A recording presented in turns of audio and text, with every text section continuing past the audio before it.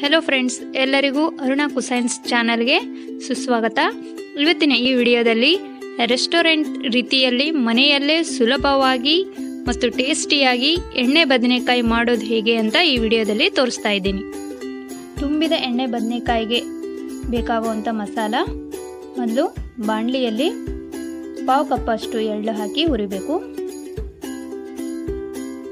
So ಇದು ಸ್ವಲ್ಪ ಚಟ್ಪಟ್ಟನವರೆಗೂ ಹುರಿತಾ ಇರಬೇಕು. ಸೊ ಇದು ಉದ್ದಿದೆ. ಇದನ್ನು ಒಂದು ಪ್ಲೇಟಲ್ಲಿ ತಗೊಳ್ತಿದ್ದೀನಿ ನಂತರ ಒಂದು ಹಾಫ್ ಕಪ್ಪಷ್ಟು ಶೇಂಗಾ ಬೀಜ ಹಾಕಿ ಹುರಿಬೇಕು. ಇದು ಕೂಡ ಆಗಿದೆ. ಈಗ ಇದನ್ನು ಪ್ಲೇಟಲ್ಲಿ ತಗೋಣ. ಈಗ ಸ್ವಲ್ಪ ಕೊಬ್ಬರಿ. ಈ ಕೊಬ್ಬರಿ ಕೂಡ ಸ್ವಲ್ಪ ಬ್ರೌನ್ ಕಲರ್ ಬರೋವರೆಗೂ ಹುರಿಬೇಕು. ಇದಾಗಿದೆ.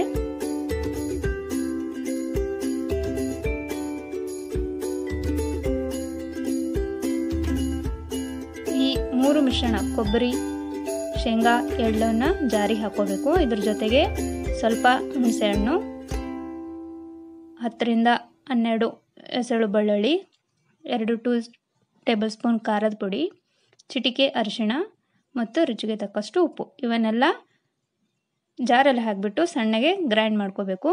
ಈಗಿದ ಪುಡಿ ಆಗಿದೆ ಇದನ್ನು ಒಂದು ಪ್ಲೇಟಲ್ಲಿ ತಗೋತಿದ್ದೀನಿ.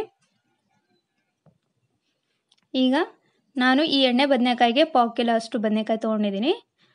ಈ ಎಣ್ಣೆ ಬದನೆಕಾಯಿಗೆ ಬೇಕಾಗುವ ಬದನೆಕಾಯನ್ನು ಮೊದಲು ಕಟ್ ಮಾಡೋಕ್ಕೂ ಮುಂಚೆ ಒಂದು ಸ್ವಲ್ಪ ಬಾ, ಪಾತ್ರೆಯಲ್ಲಿ ನೀರು ಮತ್ತು ಉಪ್ಪು ಹಾಕಿಟ್ಕೋಬೇಕು ಈ ಬದನೆಕಾಯಲ್ಲಿ ಮುಳ್ಳನ್ನು ಈ ರೀತಿ ತೆಗೆದು ನಾಲ್ಕು ಹೋಳುಗಳನ್ನಾಗಿ ಮಾಡಿ ಒಳಗಡೆ ಚೆಕ್ ಮಾಡಿ ಈ ನೀರಲ್ಲಿ ಹಾಕಬೇಕು. ಇದೇ ರೀತಿಯಾಗಿ ಎಲ್ಲ ಬದನೆಕಾಯನ್ನು ಹೋಳುಗಳಾಗಿ ಮಾಡಿ ನೀರಲ್ಲಿ ಹಾಕಬೇಕು. ನೋಡಿದ್ರಲ್ಲ, ಈ ರೀತಿ ಕಟ್ ಮಾಡಿ ಈ ರೀತಿ ನೀರಲ್ಲಿ ತೊಳ್ಕೊಬೇಕು. ಈಗ ನಾವು ಮಸಾಲ ಮಾಡಿದ್ವಲ್ಲ, ಆ ಮಸಾಲವನ್ನು ತಗೊಂಡು ಈ ಬದನೆಕಾಯಿಯಲ್ಲಿ ಈ ರೀತಿ ತುಂಬಬೇಕು. ತುಂಬಿಟ್ಟು ಈ ರೀತಿ ಕ್ಲೋಸ್ ಮಾಡಿ ಒಂದು ಕಡೆ ಪಕ್ಕದಲ್ಲಿ ಇಡಬೇಕು. ಅದೇ ರೀತಿಯಾಗಿ ಎಲ್ಲ ಬದನೆಕಾಯಲ್ಲಿ ಈ ರೀತಿ ಮಸಾಲವನ್ನು ತುಂಬಿ ಇಟ್ಕೋಬೇಕು.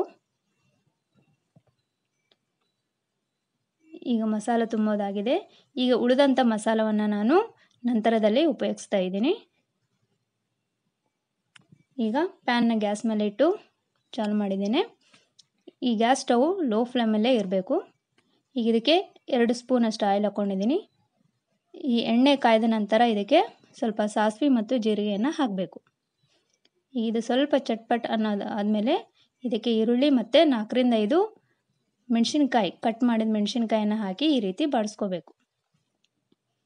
ಒಂದು ನಿಮಿಷದವರೆಗೆ ಆದಮೇಲೆ ಸ್ವಲ್ಪ ಈರುಳ್ಳಿ ಬ್ರೌನ್ ಕಲರ್ ಆಗುತ್ತೆ. ಇದಕ್ಕೆ ಒಂದು ಸ್ವಲ್ಪ ಕರಿಬೇವು ಹಾಕಿ ಬಾಡಿಸ್ಬೇಕು.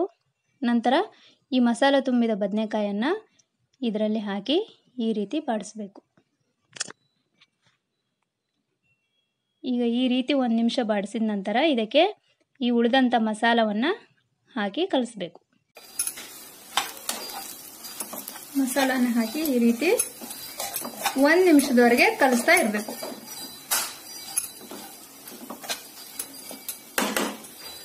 ಸ್ವಲ್ಪ ಇದನ್ನು ಹೀಗೆ ಮುಚ್ಚಿಟ್ಬಿಡೋಣ, ಒಂದು ನಿಮಿಷದವರೆಗೆ. ಗ್ಯಾಸ್ ಸ್ಟವ್ ಮಾತ್ರ ಲೋ ಮೀಡಿಯಂ ಅಲ್ಲೇ ಇರಬೇಕು. ನೋಡೋಣ ಹೇಗಾಗಿದೆ. ನೋಡಿ, ಈ ರೀತಿ ಆಗುತ್ತೆ. ಸ್ವಲ್ಪ ಈ ರೀತಿ ಬಾಡಿಸ್ಬಿಟ್ಟು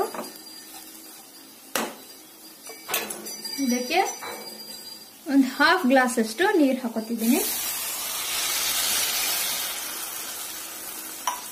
ನೀರು ಹಾಕಿ ಕಲಸ್ಬಿಟ್ಟು ಐದರಿಂದ ಹತ್ತು ನಿಮಿಷದವರೆಗೆ ಇದನ್ನ ಬೇಯಿಸ್ಬೇಕು.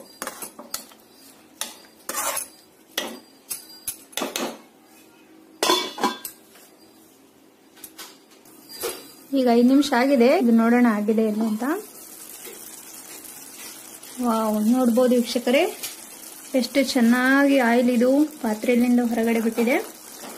ಅದೇ ರೀತಿಯಾಗಿ ಬದನೆಕಾಯಿನೂ ಸರಿಯಾದ ಕ್ರಮದಲ್ಲಿ ಕುದ್ದಿದೆ ಸೊ ಈ ರೀತಿಯಾಗಿ ಸಿಂಪಲ್ ಆಗಿ ಮನೆಯಲ್ಲೇ ರೆಸ್ಟೋರೆಂಟ್ ಸ್ಟೈಲ್ ತರ ಎಣ್ಣೆ ಬದನೆಕಾಯನ್ನ ಮಾಡ್ಬೋದು.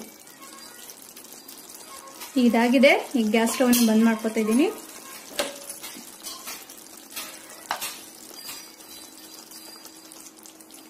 ನೋಡಿದ್ರಲ್ಲ ವೀಕ್ಷಕರೇ? ಎಷ್ಟು ಸಿಂಪಲ್ ಆಗಿ ಮನೆಯಲ್ಲೇ ತುಂಬಿದ ಬದನೆಕಾಯಿ ಅಥವಾ ಎಣ್ಣೆ ಬದನೆಕಾಯಿಯನ್ನು ಮಾಡೋ ರೀತಿ. ಸೊ ಈ ವಿಡಿಯೋ ನಿಮಗೆ ಇಷ್ಟವಾಗಿದೆ ಅನ್ಕೋತಾ ಇದ್ದೀನಿ. ಪ್ಲೀಸ್ ಈ ನಿಮ್ಮ ಚಾನಲ್ ಅನ್ನ ಸಬ್ಸ್ಕ್ರೈಬ್ ಮಾಡಿ ಲೈಕ್ ಮಾಡಿ ಮತ್ತು ನಿಮ್ಮ ಫ್ರೆಂಡ್ಸ್ ಹಾಗೂ ಫ್ಯಾಮಿಲಿಗೆ ಶೇರ್ ಮಾಡಿ. Thank you